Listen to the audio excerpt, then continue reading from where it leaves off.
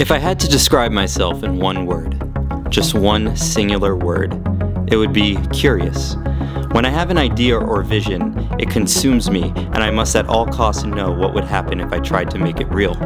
Curiosity, unlike thirst, is never quenched or satisfied, it is only fueled. The fire burns brighter every time I embark on a new expedition. Now, you may ask yourself what it is I seek here in Greece self fulfillment, warfare, political intrigue, romance, a royal conquest, perhaps. I came here for one reason, and one reason only.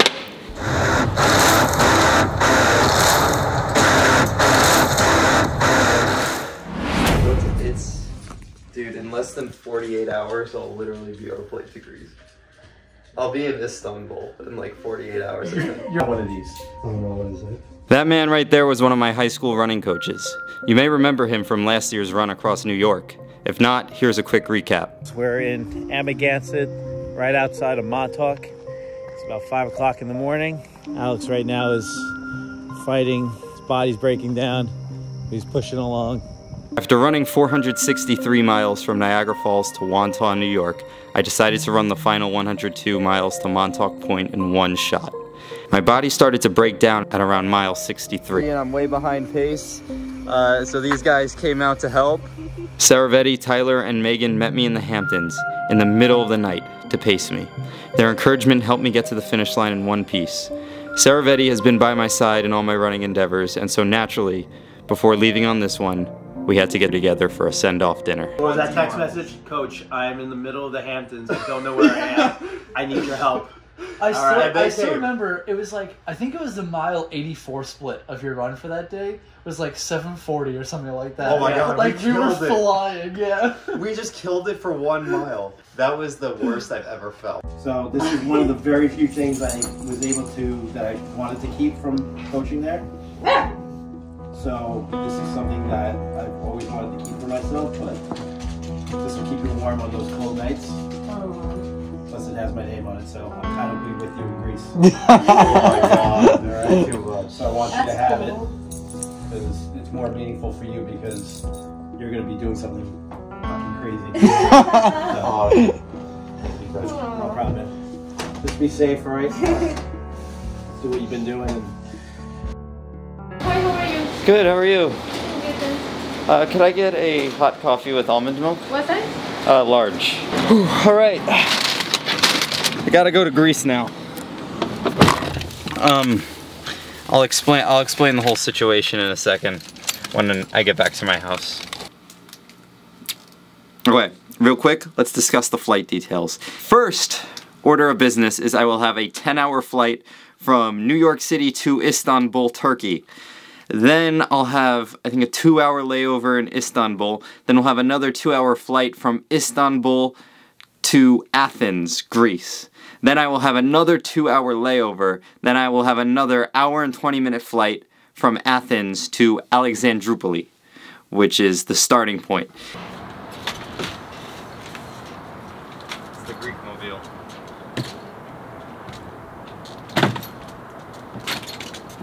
I wish he was just going to a beach somewhere. Says that every time. Alright, I'm here with uh, my dad. He's taking me to the airport. Thanks for the ride. Oh, no problem. Appreciate it. Yeah, yeah, yeah. I know you're sick of this. This I'm not. I'm not sick of it. I worry every time you go away. I'm a father, so I worry. That's my job. I worry, especially Greece. You know, they've a lot of turmoil. Uh, I think they went bankrupt. You know, so there's a lot of unemployment. But you know, they're basically nice people. They've been around for a long time. I think so. You know, you should be. Uh, you should be okay. Um, I made this for you. Now, don't laugh at me, but this is a uh, dummy wallet. Okay. Wait, tell me what? It's a it's a dummy wallet. If somebody comes up to you and says, "Give me all your money," I made this wallet look like your real wallet. no. It's got real cash in it. There's 160 dollars or so in there. It's got like fake ID and business cards and all kinds of stuff. So That's actually super smart. I'll have that easily accessible. easily accessible. And if somebody like you know, and and it's a threatening thing, and you have to give it up, give it up. Well, thank you. I think of the stupid things. I'm sorry. no, it's it's smart. You good? I'm good. All right. Unbelievable. Have fun. All right, guys, so real quick before I check into the flight, I want to show you the gear setup. So this is a BOB or Bob Duallie stroller. It's for twins because uh, for this trip I need a lot more stuff than the last trip. So we're going with the double stroller. Everything in this suitcase will be put into here once the run begins and I'm gonna ditch the suitcase in Alexandroupolis. I'm picking up my baby. I adopted two kids in Greece, so I'm taking the stroller to go get them. Dimitri and Yanni. It's a big day.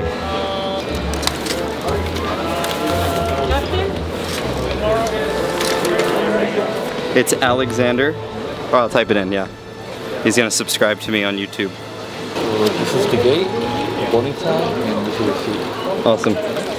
Thank you so much, man. Take care, sir.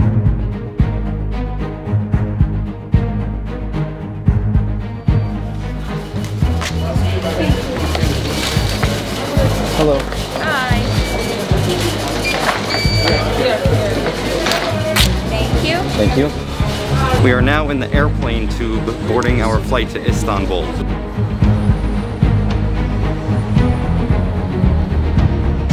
Hello, welcome. 14. This way, please. Have a nice flight.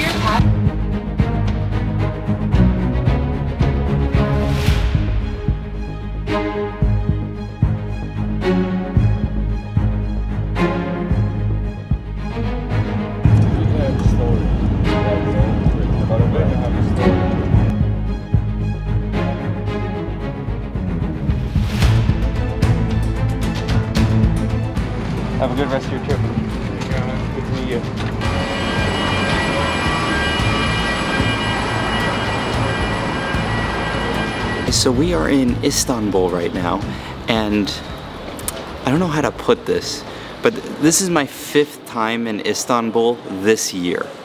And I don't know, I do a lot of weird things, like with my running, and you know, I'm just like a generally, I, I get it, I'm like kind of different. The fact that I've been to Istanbul five times this year makes me feel like a weird person. So we just had uh, dinner, and in the middle, Alex drops, "Yeah, this will be the fifth time I'm back in Istanbul this year in 2021." That's that's the most insane stat that I've ever heard in my entire life. Is it really? life. I, I honestly think that might be crazier than the running stats. What kid from Long Island, New York, is going to pass through Istanbul five times in a single year? I'm willing to bet none. It's asinine. Yes.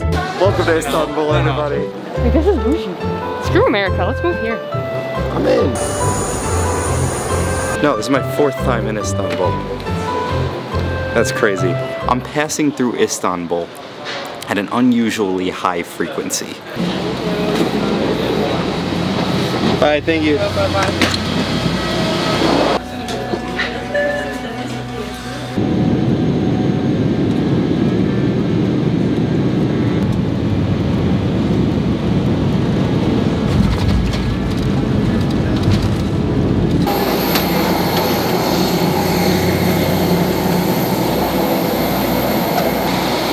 Welcome to Alexandroupolis.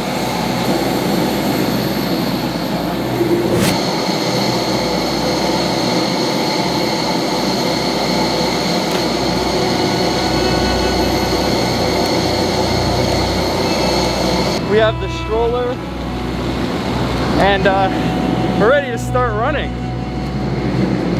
I mean, I'm gonna wait till tomorrow, but still, like, we're ready to go. Oh my god, I feel like a psycho.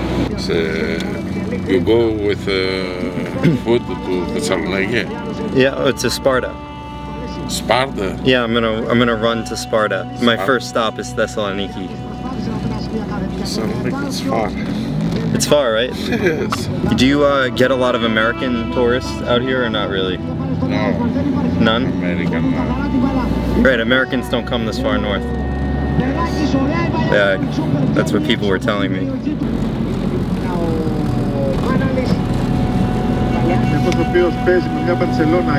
This is the hotel?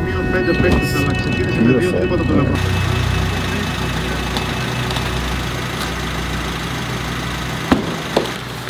Um, checking in. An executive suite? Yes, correct. That sounds great. Yes, I was. Uh, I actually need an executive suite. That works perfectly. Oh my god.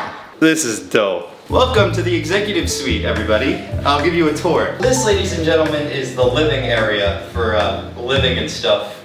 Activities other than sleeping.